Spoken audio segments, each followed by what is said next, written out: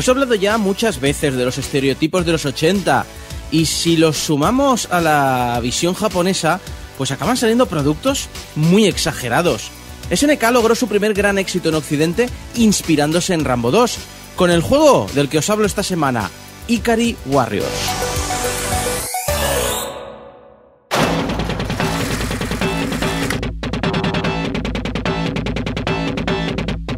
El concepto del juego es bien sencillo, rescatar a un coronel del ejército que está preso en la villa de Ikari. Para ello hay que acabar con cientos de enemigos, de máquinas de guerra, etcétera, que se interpondrán en nuestro camino. Y, ya está. No es que tenga mucha más historia, pero claro, es que hablamos de un juego que te puedes pasar en un cuarto de hora. Bueno, si tienes la capacidad y la habilidad para hacerlo, claro. Jugablemente eh, recuerda mucho a Comando de Capcom.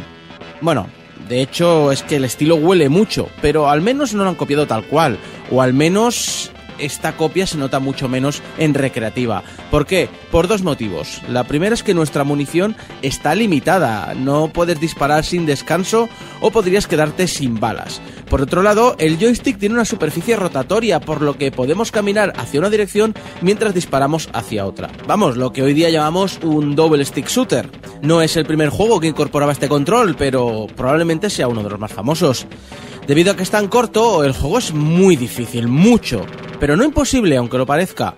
Eh, sí, hay muchos enemigos que salen de manera infinita, pero sus generadores o determinadas hordas están predeterminados.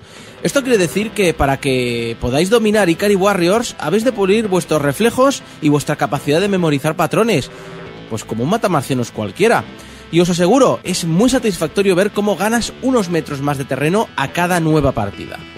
Pero hablemos ya de sus diferentes conversiones.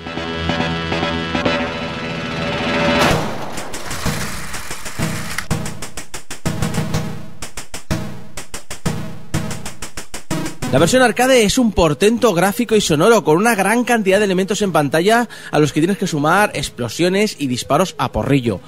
Obviamente, hoy día no podemos disfrutar de su control original en vuestros PCs, así que tendréis que hacer algún tipo de ejercicio mental para intentar pensar cómo era el juego en su día. Pero más allá de eso, es un monstruo técnico. Para MSX2 tenemos una conversión brutal, presenta una gran cantidad de elementos en pantalla, algo que además intenta demostrar todo el rato, ya que los cadáveres y los tanques destruidos se quedan siempre en pantalla, sin desaparecer como es habitual en los arcades. Presenta también un área de juego completa, sin marcadores de ninguna clase, hay sombras en las balas, que aparte de la recreativa, creo que es la única versión que lo hace, y una voz digitalizada cada vez que perdemos una vida.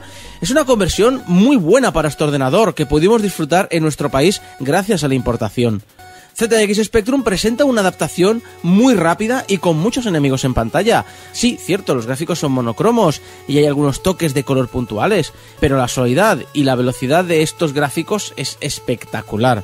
El tema del color se solventa obviamente en CPC, aunque el juego lo encuentro menos suave, en algunas ocasiones se ralentiza y el control no es tan fluido como lo hace en Sinclair. Pero bueno, no os confundáis, no deja de ser un juegazo para esta máquina. No me he olvidado de Commodore 64. De hecho, este ordenador tiene el honor de tener la única versión mala del juego. Pero mala, mala. Mm, oh, oh, por Dios. Es una versión reducida que podías completar en 5 minutos si tuvieras la santa paciencia de dominar el juego, con una cantidad de recortes brutal y de una poca gracia a la hora de programar que casi les daría un premio por lograr hacer una conversión tan lamentable. Tiene un scroll horrible que te deja completamente vendido. La inteligencia artificial de los enemigos es nula. Acertar algo es complicado y la música es un horror. Vamos, es que no la probéis ni por curiosidad. Por fortuna creo que esta versión se quedó solo en los Estados Unidos. Sí, salió antes, pero Elite, la encargada de realizar buena parte de las conversiones domésticas, también hizo la suya para Commodore 64.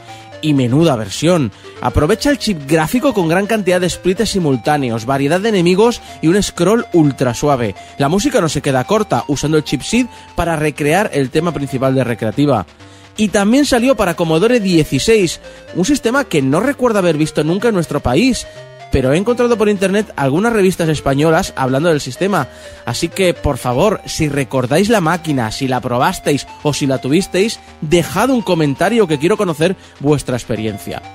pero para experiencia, la de esta versión, que para ser un sistema de tan solo 16K, oye, adapta muy bien la recreativa, no tendrá música, estará algo más recortado en su jugabilidad, pero qué bien se mueve y qué bien se disfruta. Nintendo también recibe una buena conversión, para la cual solo tengo un par de quejas. El flickering de los sprites es en ocasiones muy irritante, pero lo peor de todo es que para desplazarte a una nueva dirección, el personaje pasa antes por las posiciones intermedias, es decir, el muñeco se mueve como lo haría en la realidad. Sí, es una vacilada técnica muy grande, pero me molesta porque a veces nos llevamos un balazo involuntario. Pero bueno, quitando este par de quejas, el juego es divertido, como también lo es para Atari 2600, aunque su aparición ya tan tardía, con sistemas domésticos superiores, me extraña mucho. Pero oye, bienvenida sea. No esperaba demasiado y me he encontrado un arcade puro y duro, simplón, pero que intenta dentro de sus limitaciones, presentar los obstáculos y variedad de enemigos de la recreativa. La verdad es que me ha sorprendido para bien. Otro sistema que también presenta una conversión excelente es la Atari 7800, donde los enemigos a veces se flipan a la hora de disparar, pero cuyo colorido y variedad son soberbios. Creo que solo apareció en los Estados Unidos, eso sí. Y acabaremos este repaso con los ordenadores de 16 bits. Atari ST y Amiga presentan una versión muy similar, lleno de elementos corriendo y disparando por la pantalla, y su mayor diferencia está en el sonido, que es mejor en Amiga, menos cuando montamos en un tanque, porque entonces no podemos escuchar la melodía de fondo, mientras que en Atari ST sí. Bueno, de hecho suena, pero el ruido no nos deja hacerlo. Pero por contra, a mí me parece que la versión de Amiga corre un poco más ligera, un poco más suave, así que, bueno, es una cuestión de gustos. La versión de PC venía en un disco de arranque, como solía ser común en los 80, y presenta dos versiones, una con gráficos EGA y otra con gráficos CGA. En cualquier caso, es una conversión brillante y sorprendente. Se mueve con una suavidad poco común en estos sistemas por entonces. Lo más curioso, esta versión está programada por Quicksilver, los mismos que hicieron la adaptación mala de Commodore 64. ¿Por qué esta diferencia entre ambas? Ni idea, pero ya sabéis cuál de las dos escoger.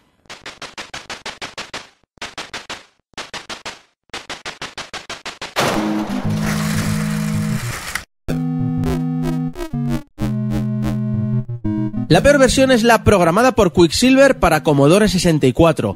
De hecho, no es solo la peor versión, es la única versión mala de todas.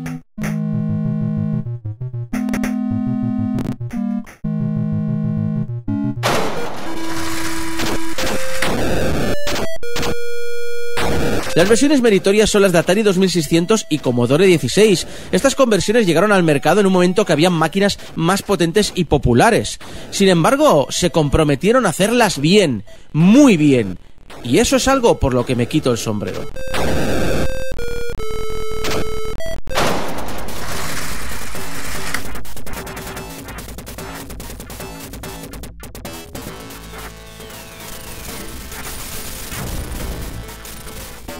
¿La mejor versión? Pues aquí os voy a decir que todas.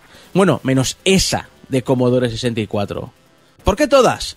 Pues porque todas se han adaptado bien a los controles existentes, porque todas se han exprimido el coco para que disfrutes sin importar dónde y cómo. Y porque sí, el arcade es la versión más potente, pero mira esa conversión tan buena para MSX2, y esa de Elite para Commodore 64, y, y, esa de Amiga, y así podría pasarme toda la tarde.